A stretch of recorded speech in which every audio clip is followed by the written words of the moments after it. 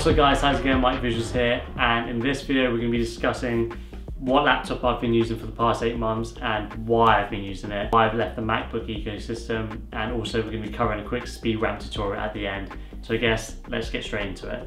Alright, quick disclaimer before we start this video. I got this laptop around 8 to 10 months ago. I was looking for a new laptop and the Razer Blade came up.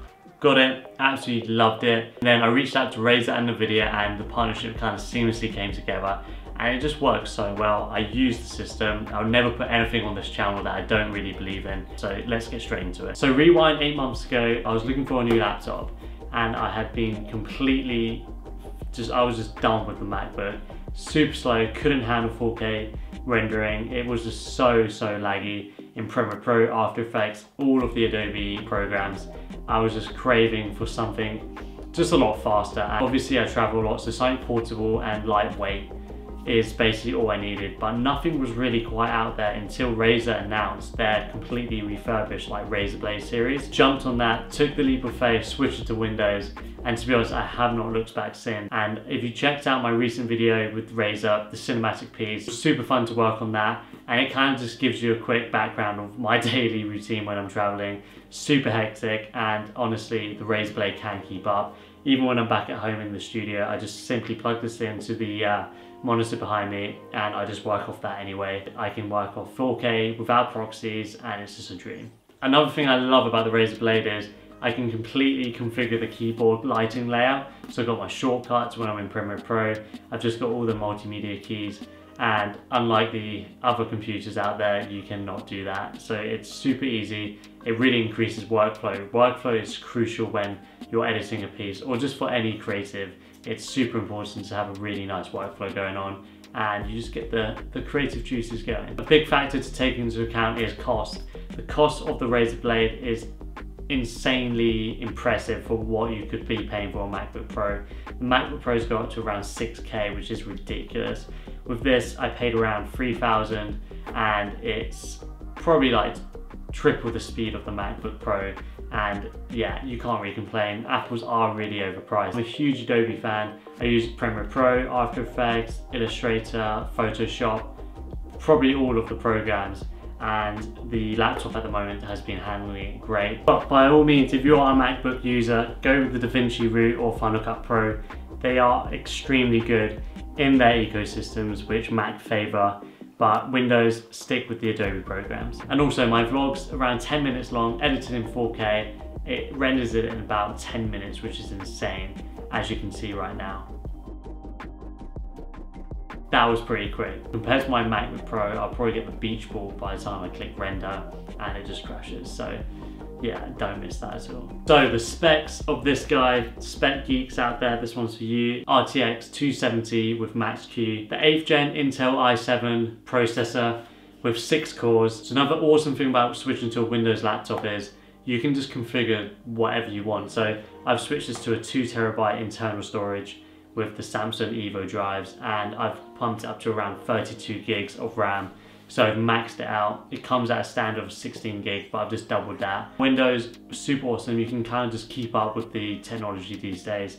Just increase the SSD if you want, or the RAM and just stay up to date with everything. So that's another cool thing that you can do with the Razer Blade laptop. All right, time to discuss what display I got for this one. This was the 4K 60 Hertz one. I can actually see my 4K footage in 4K and it's actually touchscreen. It comes in handy. Sometimes I'm on Photoshop or Google Maps, scan to full locations. Coming back to the NVIDIA RTX 270 graphics card in the laptop. Currently one of the fastest graphics cards you can actually get in a laptop so thin. This thing is so, literally, look like, look at this.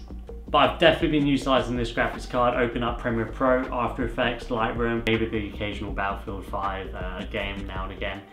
Gotta, gotta put the ray tracing to use, right? Alright? It can definitely keep up with everything running at the same time. And I'm a big procrastinator to be honest. George is always having a go at me for that. But less rendering time means less sitting around. Less sitting around means more editing time. So definitely has helped me keep more productive during the day and uh, yeah, less procrastination. I want to make it clear that the CPU and the GPU do completely different things. The CPU, in fact, is sometimes more important than the GPU. The CPU does run a lot of power in these programs like After Effects, Premiere Pro. The GPU is made for like rendering, exporting. Those who are kind of like 3D animators, using the GPU for rendering is super fast when using a good graphics card. The CPU is mainly where all the power comes from, from editing, kind of compositing stuff, but the GPU is used for rendering and exporting. Alright, bonus tutorial in this video guys, speed ramping. A lot of you have been asking how I do it and especially in the Razer video I used it a lot. On top of those speed ramping shots I've added third party plugins like RSMB, Denoise so for shots which are a bit dark or wanted a bit more motion blur I had to use those plugins so this puts a lot of strain on the graphics card. Alright so let's switch angles and get this tutorial started. Alright so let's get straight into this tutorial, speed ramping. So I've picked two clips from my recent trip to Singapore Check out the video if you haven't, it's the last one I posted. But we had this really awesome cinematic sequence like this.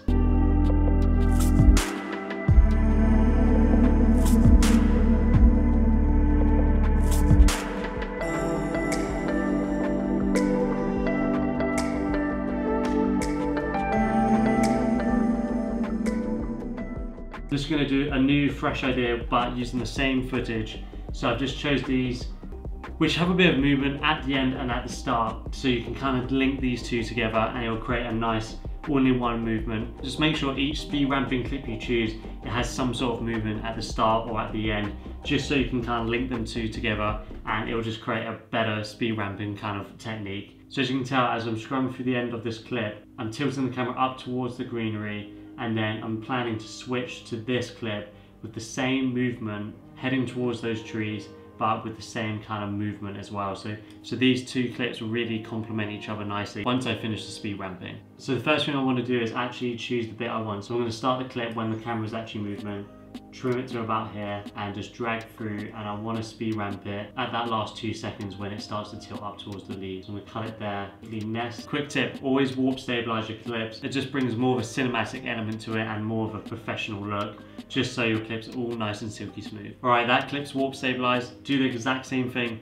on the next clip we're to be doing. So choose the bit you want and then warp stabilize it. Alright, these two clips are warp stabilized. Nest them again so we can apply speed ramping. Alright, so the first thing we want to do is right click the clip you want speed ramp Go to the bottom and click show clip keyframes. We want to choose time remapping and click speed. Alright, so this will open up a line below the clip. You want to scrub to the end of where you want to start keyframing the speed ramping. Alright, so next you want to click P on the keyboard and that will bring up the keyframing tool.